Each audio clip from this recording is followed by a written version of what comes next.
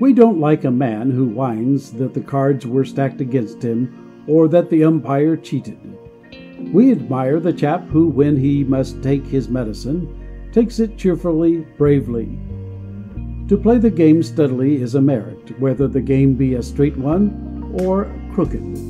A thoroughbred, even though bad, has more of our respect than the craven who cleaves to the proprieties solely from fear to violate them. It has well been said, the mistakes which make us men are better than the accuracies that keep us children. Yes, he went and stole our steers, so of course he had to die. I ain't shedding any tears, but when I cash in, say I, want to take it like that guy.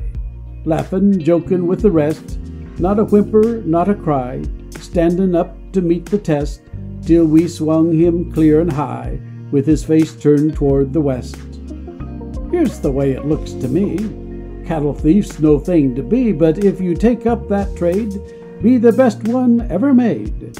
If you've got a thing to do, do it strong and see it through. That was him. He played the game, took his chances, bet his hand. When at last the showdown came and he lost, he kept his sand. Didn't weep and didn't pray, didn't waver or repent. Simply tossed his cards away, knowing well just what it meant.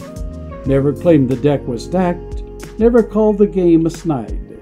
Acted like a man should act, took his medicine, and died. So I say it here again, what I think is true of men. They should try to do what's right, fair and square and clean and white.